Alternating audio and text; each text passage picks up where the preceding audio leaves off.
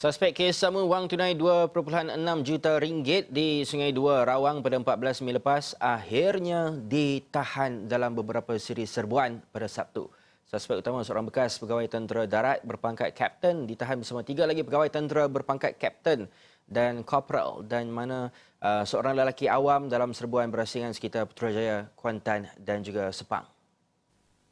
Menurut Ketua Polis Selangor, Datuk Mazlan Mansur, wang tunai RM715,000 dalam dua beg ditemui dan dirampas dalam serbuan terbabit.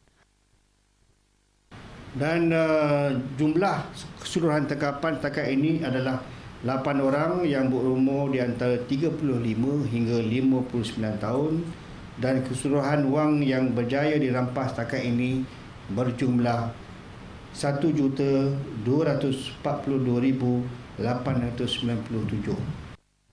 Dalam kejadian pada 14 Mei itu, suspek seorang kapten tentera membawa lari wang tunai 2.6 juta ringgit dari sebuah bilik kebal syarikat kawalan keselamatan dengan menaiki sebuah motosikal jenis Modena Screes.